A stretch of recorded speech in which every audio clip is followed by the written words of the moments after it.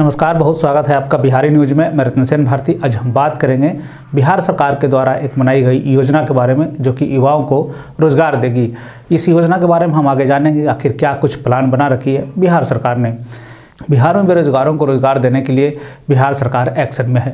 सरकार की तरफ़ से यह भी कहा जा रहा है कि बेरोजगारों को रोज़गार देने के लिए विशेष पोर्टल बनाया जाएगा। इस पोर्टल पर रोज़गार देने वाली कंपनियों को सूचीबद्ध किया जाएगा, यानी कि उनको जो है वहाँ पे इनरोल्ड होना होगा। पोर्टल पर वैकेंसी देखकर बेरोजगार इस पोर्टल के माध्यम से रोज़गार पा सकेंगे। बिहार में बेरोजगार युवाओं को कौशल विकास योजना के तहत जो ट्रेनिंग दी गई है, उस योजना का प्रशिक्षण दिया जाएगा और इससे पहले भी कई लोगों को जो है कौशल विकास योजना के तहत प्रशिक्षण दिया जा चुका है। इस पूरे मामले को लेकर श्रम संसाधन विभाग की ओर से बताया गया है कि कौशल विकास प्रशिक्षण कार्यक्रम में बारह दशमलव टू लाख युवा नामांकित किए गए हैं। इसमें से नौ दशमलव दो पाँच लाख युवाओं को प्रमाण पत्र दिया जा चुका है। बताया जा रहा है कि पचहत्तर हज़ार से अधिक युवा अब भी प्रशिक्षण ले रहे हैं। वहीं डोमेन स्किल में नब्बे हज़ार दो सौ सैंतालीस लोगों का पंजीकरण हुआ है। इसमें से चौवन हज़ार दो सौ पैंतालीस का मूल्यांकन हुआ है। तो वहीं पचास हज़ार सात सौ बासठ को प्रमाण पत्र भी दिया जा चुका है।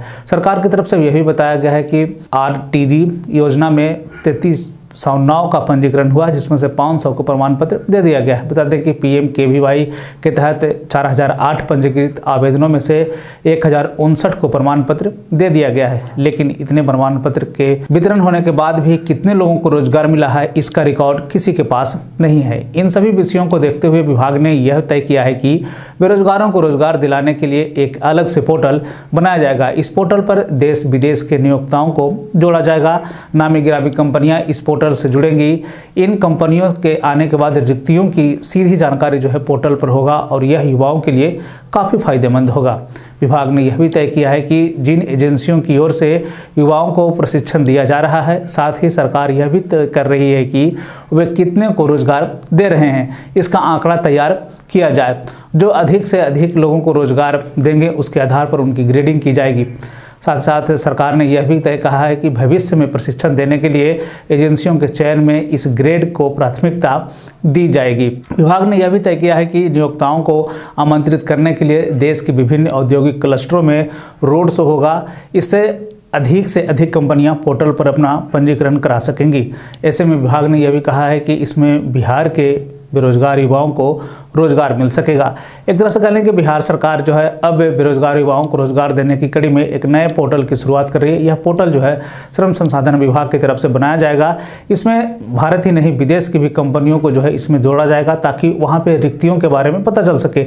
दूसरा, बिहार सरकार और भारत सरकार जो है कई ऐसे प्रशिक्षण कार्यक्रम चला रही है जिससे कि युवा जो है रोज़गार की तरफ़ आगे बढ़ सके, वो एक प्रशिक्षित हो सकें ताकि वो जब किसी कार में जाए तो वहाँ उन्हें किसी तरह की की परेशानी ना हो। दूसरा ये भी कि है कि बिहार सरकार जो है कई ऐसी स्कीमें लाई हैं जिसके तहत जो है आप खुद का अपना रोज़गार कर सकते हैं। बिहार सरकार लगातार युवाओं में रोज़गार को लेकर कई तरह की पहल जो है वो करती रही है। इसी कड़ी में जो है यह एक पोर्टल बनाया जा रहा है जिसके तहत जो है बेरोजगार युवाओं को रोज़गार मिलेगा।